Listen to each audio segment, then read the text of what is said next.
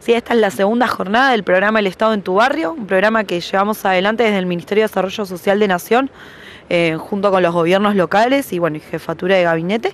Eh, estuvimos ayer por la tarde, desde la 1 hasta las 6 de la tarde, y hoy hasta el día viernes por la mañana de 8 a 14 horas. Como charlábamos antes, hay distintos trámites, son distintos servicios los que se ofrecen, que ofrecen los organismos aquí eh, en el playón municipal. Está presente Renaper con el camión fábrica donde realizan el DNI. Solamente el, documento se realiza, no se realiza el pasaporte, se realiza y se entrega en el momento. ¿Sí? se van con el documento emitido.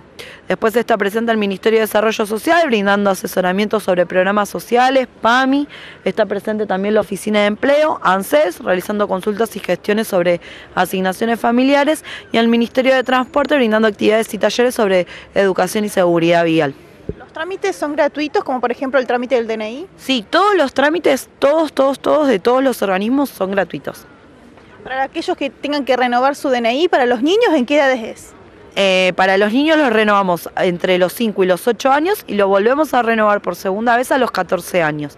Siempre hay que traer la partida de nacimiento original del, del, menor, ¿sí? No importa que sea una viejita, lo importante es que sea la partida del acta de nacimiento.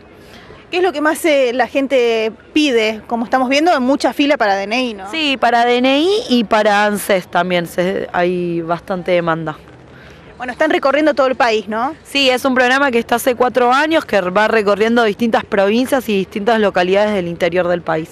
¿Ya han estado en Carlos Paz? Sí, hemos estado en Carlos Paz en el año 2017, aproximadamente para esta época.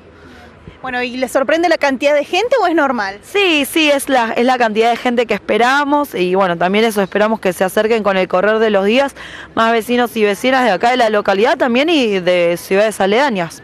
¿Hasta el viernes van a estar aquí en el playón? Sí, hasta el viernes en el playón municipal de 8 a 14 horas.